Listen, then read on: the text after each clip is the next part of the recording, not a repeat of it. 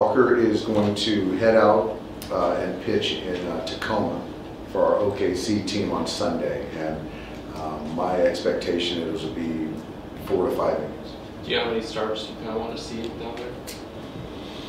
Um, no, I, I don't think it's uh, set in stone, but I think, uh, you know, four is some, somewhat probably fair, you know, and kind of give or take a start, but I think four is, yeah, reasonable. Is it more about building up? like, It is, It- it's about building up, um, it's about building up and then fine tuning, you know, all of his pitch mix, so once he gets here, you know, he can go six innings and he can recover well and he feels like he's equipped to go out there and consistently get major league hitters out.